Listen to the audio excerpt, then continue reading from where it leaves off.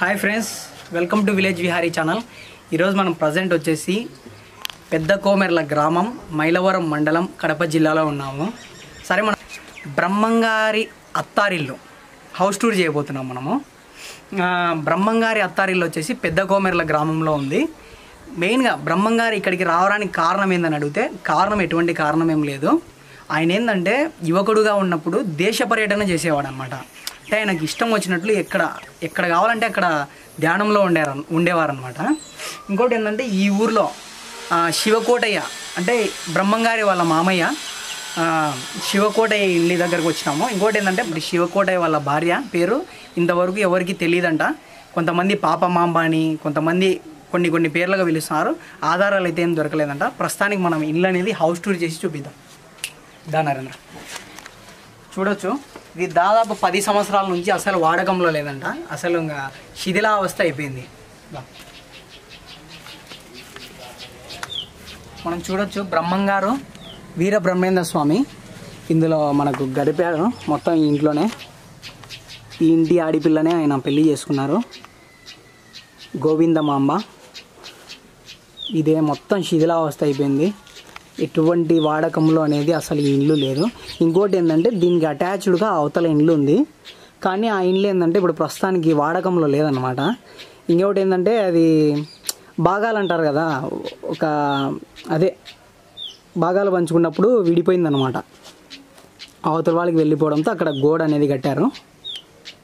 చూడొచ్చు ఇక్కడ మొత్తం. అక్కడ ఏందో ఇంకా ఇప్పటికి కూడా పూజలు చేస్తున్నారేమో ఇక్కడ దీపారాధన చేస్తారంట. పొద్దున సాయంత్రం ఇప్పటికి కూడా దీపారాధన చేస్తారంట. చూపిద్దాం పా నరేంద్ర ఒకసారి అడిగా మనం చూడొచ్చు. దీన్ని ఏంటంటే కొంచెం రీమోడల్ చేసి కనీసం ఎవరైనా వచ్చి చూపించడానికైనా ఉంటే బాగుండు. ఇక్కడ చూడొచ్చు వీర బ్రహ్మేంద్ర స్వామి వీర బ్రహ్మేంద్ర స్వామి అండ్ గోవిందమాంబ గారి ఫోటో పెట్టి అక్కడ ప్రతిరోజు దీపారాధన చేస్తారంట. సాయంత్రం అండ్ పొద్దున? చూడొచ్చు? అది నరేంద్ర మొత్తం పడిపోయింది.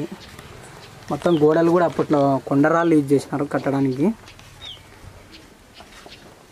ఇంకోటి ఏంటంటే ఇది మనకు చూడడానికి చిన్న రూమ్ లాగా కనపడుతుంది. బట్ ఏంటంటే అక్కడ ఆ ఒళ్ళ సైడ్ కూడా ఒకటి ఇల్లు ఉంది. అటు సైడ్ ఉంది దీని వెనికిల అటు సైడ్ ఉంది దీని వెనకాల కూడా ఉంది. మనకి ఏంటంటే ఇంకా భాగాలు పోవడంతో ఎవరిది వాళ్ళకి సపరేట్ అయిపోయింది. మనకు ప్రస్తుతానికి ఓపెన్లో ఉండేది ఇది మాత్రమే ఓపెన్లో ఉంది అనమాట మనకు. ఇదిగో మీకు అక్కడ పైన కనపడేది బ్రహ్మంగారి జ్ఞాపకార్థంగా వీళ్ళు రీసెంట్గా ఒక పద్నాలుగు సంవత్సరాల కిందట ఈ గుడి అనేది కట్టించుకున్నారంట. చూద్దాం అక్కడ కూడా చూద్దాం. ఈ దిమ్మెలు ఇవన్నీ ఆ ఓల్డ్కి సంబంధించినవి ఉంటాయి అదే పాతకాలం ఉంటాయి మొత్తం పడిపోయింది అబ్బా. ఎందుకంటే దాదాపు నాలుగు వందల ఐదు వందల సంవత్సరాలు అయింది అంటే బ్రహ్మంగారు పదహారు వందల ఎనిమిది అనుకుంటా పదహారు వందల ఎనిమిదిలో పుట్టారు. కాబట్టి దాదాపు నాలుగు వందల సంవత్సరాల దాకా అయినట్టే. ఇంటి చరిత్ర. చూడొచ్చు ఇక్కడ. ఇక్కడ పైకి ఎక్కడానికి మెట్లు కూడా ఉన్నాయి. ఈ బహుశా ఈ టాయిలెట్ లాగా యూజ్ చేసేవారో మరి ఏమో మనకు చెప్పలేము. ఇక్కడ ప్రస్తుతానికి పైకి వెళ్ళడానికి అయితే మెట్లు ఉన్నాయి. మన పైకి అవసరం లేదు. పైకి వెళ్ళినా మనకేం నరేంద్ర వీలు ఉన్నంత వరకు ట్రై చేద్దాం పైకి చేద్దాం. పోరాడదాం. అంతా. పోరాడితే పోయేది ఏముంది పూరం నరేంద్ర బాగానే ఇచ్చినారా మాటలు. మాటలు బాగానే దాదా.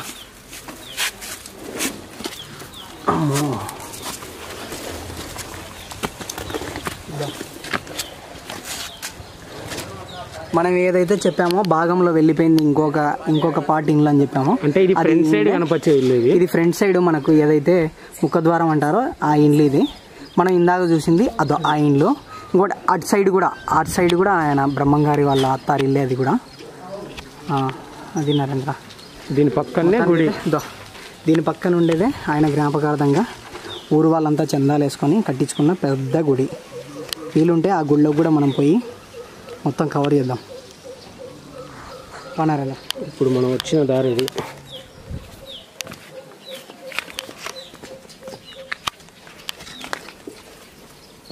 నువ్వు వదిరా షాయరి ఫస్ట్ నేను మెల్లగా పోతాను. ఇక్కడ దానిమ్మ చెట్టు ఉంది.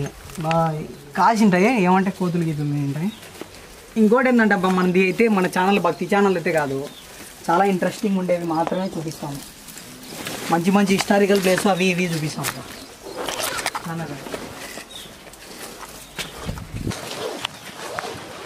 ఈ ఊర్లో కొంతమంది పెద్దవాళ్ళు ఉన్నారు. వాళ్ళని కూడా అడిగి కొంచెం ఇన్ఫర్మేషన్ ఏదైనా ఉంటే మనం గ్యాదర్ చేద్దాం.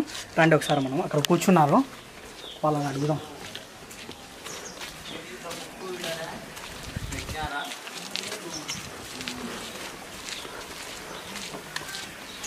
ఉదయనా?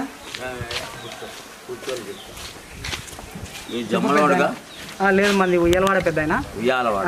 ఏంది చరిత్ర పెద్ద ఇది? ఎన్ని సంవత్సరాల నుంచి ఇట్లా ఉంది? ఎందుకు వాడడం లేదు దీన్ని? ఏది ఇండ్ల? ఇల్లు ఎందుకు ఇల్లు అంతా రెండు రెండేళ్ళు మూడేళ్ళు అయిపోయింది. పడిపోయి ఎందుకు వాడాలా ఇండ్లు? వాడతానే అన్నారు. ఆ, ఇండ్లు కూడా కొనుక్కోవడం నేనే కొనుక్కున్నా. మీరే నా స్వాధీనంలోనే ఉంది? ఇండ్లు కూడా కొనుక్కునేది. అది సవాల్ అంటే డబ్బా కంసలోలే. నేనే కొనేది.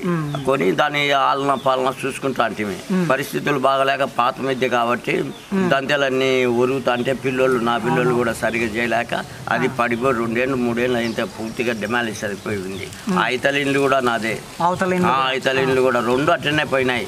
పాడు చేసుకున్నా. ఉం. పాడైపోయినాయి. ఈ బాగానే ఉన్నాయి. దీంట్లోనే భజన గీజన చేయడం పది సంవత్సరం. ప్రతి సంవత్సరం భజన చేస్తున్నారు. ఈ మాకు ఈ తీసుకుపోతాం కదా ప్రతి వైశాఖ శుద్ధ దశమి రోజున. ఆ. తీసుకుపోయినప్పుడు బట్టలు పెడతారంట అదే. విశాఖ శుద్ధ దశమి రోజున అమ్మకు బట్టలు తీసుకుపోతాం అన్నమాట పసుపు కుంకుమ. మీ ఊరు అమ్మ ఊరు ఆడబిడ్డ కాబట్టి గ్రామం తరపున పసుపు కుంకుమ తీసుకుపోతాం. ఏదో తలా ఇంత వేసుకొని ఎంత అవుతుందో వస్తువులు అయినంత తీసుకొని మంచి కాస్ట్లీగా. చీరలందు తీసుకొని ఆ అమ్మకి ఇవ్వడం జరుగుతూ ఉంది. అది ప్రతి సంవత్సరం జరిగిపోతానే ఉంది ఉమ్. ఉమ్, ఆ ఈ పరిస్థితుల్లో ఇట్లా పడిపోయినాయి. ఎందుకు ఆర్థిక స్తోమత నాకు సరిగా లేదు? దాన్ని రిపేర్ చేయలేక నేను కూడా అది ఎవరికైనా దానం చేస్తామనే పరిస్థితుల్లో ఉన్నా. దానం చేసి ఇది ఇంతవరకే అనమాట ఈ గుడి ఎన్ని పెద్ద ఈ గుడి రెండు వేల పద్నాలుగులో తయారైంది. రెండు వేల పద్నాలుగు.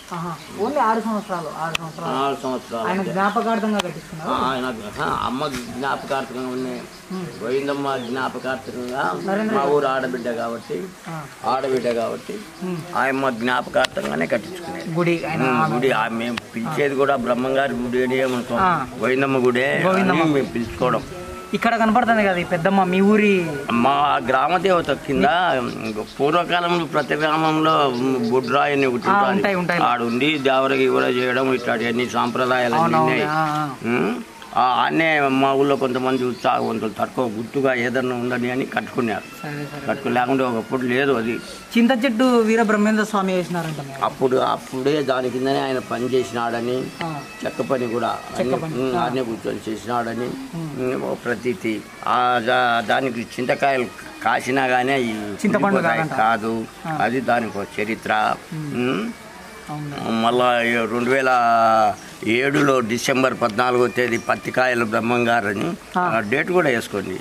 అది బహుమతికి ఉంది. ఉమ్. బ్రహ్మంగారు పత్తికాయని ఒక నలభై నలభై ఐదు రోజులు ఎన్నో సంవత్సరంలో? బ్రహ్మాండ రెండు వేల ఏడు డిసెంబర్. పద్నాలుగు. అప్పట్లో బాగా హల్చల్ చేసింది లేదు. హల్చల్ చేసింది అసలు స్టేట్ నే హల్చల్. చేసింది. స్టేట్ నే హల్చ- హల్చల్ చేసింది. జిల్లా కాదు.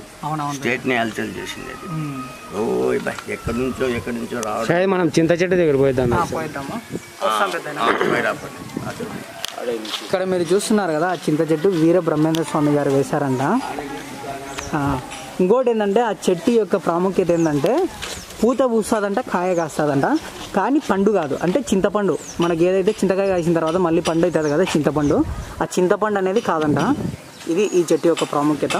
మనకు చూడొచ్చు. ఇక్కడ బ్రహ్మంగారి ఫోటో కూడా ఉంది.